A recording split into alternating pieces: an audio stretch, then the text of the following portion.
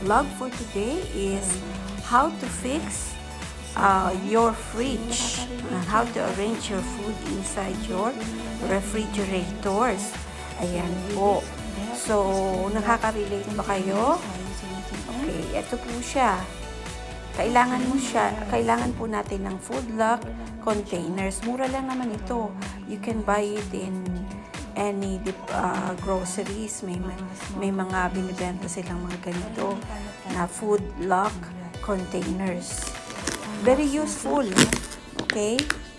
Very useful ito mga food lock containers na ito kasi dito natin ilalagay yung mga nagkakalat na mga maliliit na bagay inside our refrigerators. Diba? Para hindi maging messy yung itsura ng refrigerator natin. Yan. Kailangan natin ng ganyan, iba-ibang sizes ng food lock containers. Okay. So, ito, tingnan nyo, ang gulo-gulo. Pagka kumakain ka na sa labas, ayan, may mga inuwi mga sauce na na galing sa KFC, o galing sa McDonald's o kung saan saan.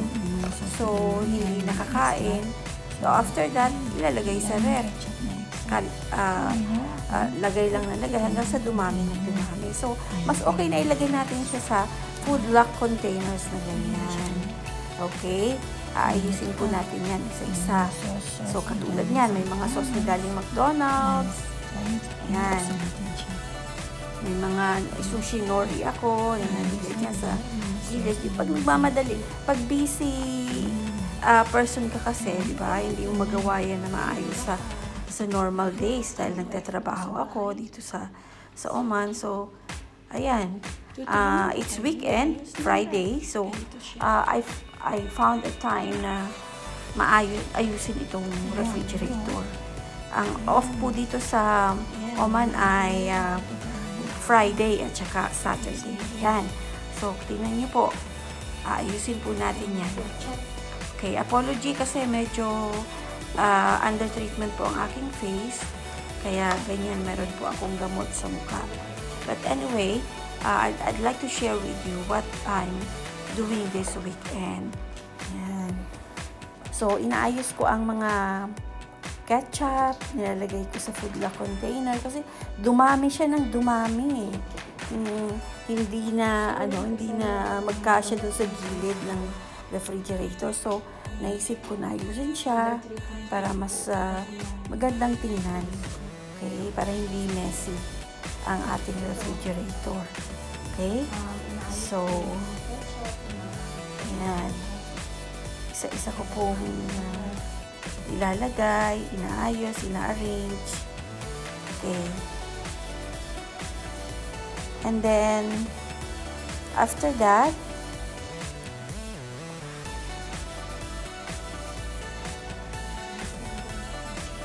Okay, ayan, ang daming ketchup. Galing yan sa kung saan saan restaurant ba.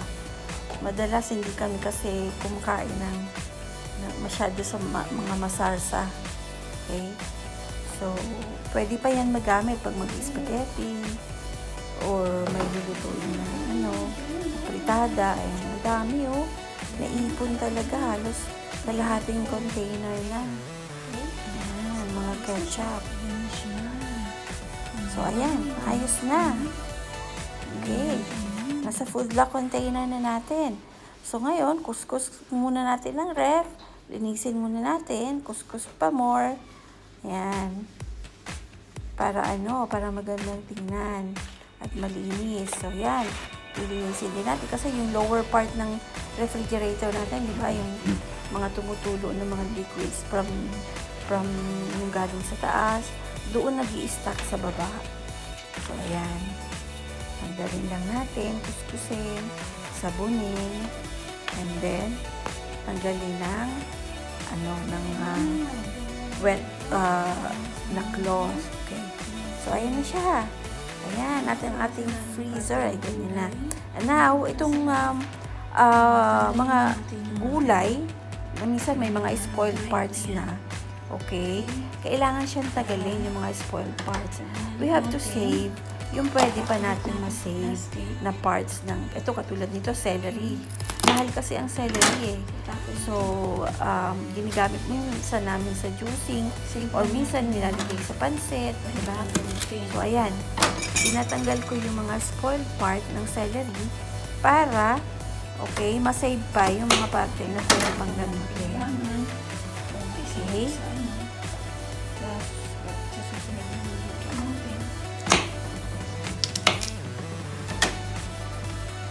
Mahal ang celery. Kaya kailangan natin siyang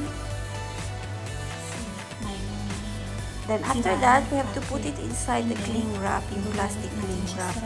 So, uh, para ma-preserve pa natin din yung freshness ng gulay. And then, before we put it back doon sa vegetable section. Ayan. Balot natin sa cling wrap. Okay. So, ayan. Pwede pang gamitin pang pansit. And then, arrange natin doon sa uh, lower part ng refrigerator para sa mga vegetable section. Yan. So, meron tayong celery. Meron tayong um, broccoli. And then, meron tayong ampalaya. And gusto ko pa parating may gulay na luto every every meal para healthy. Then, merong lettuce. And,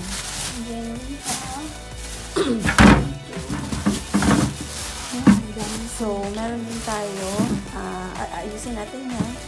Okay. Meron din tayo um, tomato. And then, um, on the other side, on the side of the tomato, meron tayong carrots. Ayan. So, ayusin lang po. Ano siyang tingnan? Let's fix it. Okay. Before we return it back doon sa fridge. Okay. So, ayan na po. Ibabalik na natin siya. Okay. After na malinisan natin yung mga yung mga parts ng ano, ng refrigerator. Okay.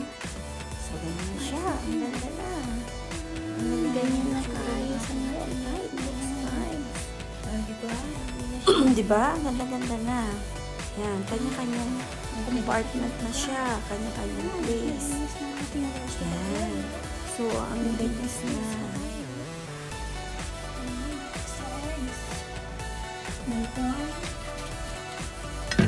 Ayan, yung mga ano, mga good luck containers, naka-arrange na maayos. So, di ba, ang ganda-ganda ng tingnan. Ganyan kaayos. Hindi yung bagsak ng bagsak, lagay ng lagay. Halo-halo, di ba? So, okay yan. Ma-arrange natin. Yan po. So, thank you for watching. And thank you for watching my YouTube channel. Please don't forget to subscribe. Okay, see you next vlog po. See you next vlog.